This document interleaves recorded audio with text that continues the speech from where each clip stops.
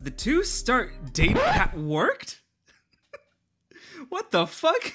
Steve with the 10,000 IQ move. Never do this, never recommend this, but I mean, it worked for him, but. I,